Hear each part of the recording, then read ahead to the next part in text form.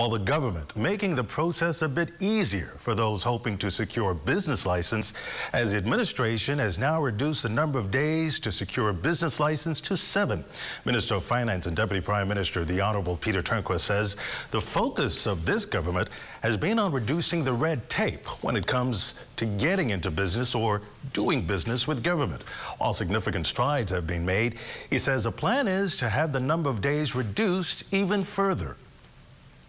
We have launched a digital digitalization uh, um, project uh, through the uh, Department of Inform Information Technology, uh, where we want to uh, reduce the amount of uh, personal contact with our staff, where people can go into a single portal and be able to transact any business that they need with the government.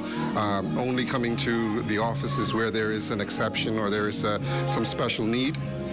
Uh, and part of that process is reducing the, the, the number of, of uh, uh, documentation and uh, ID that is required in order to uh, uh, achieve a service.